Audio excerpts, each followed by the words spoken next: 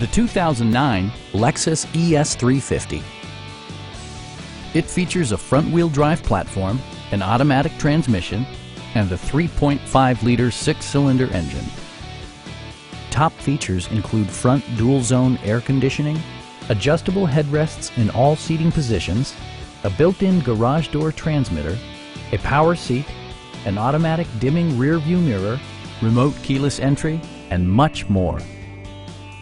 For drivers who enjoy the natural environment, a power moonroof allows an infusion of fresh air.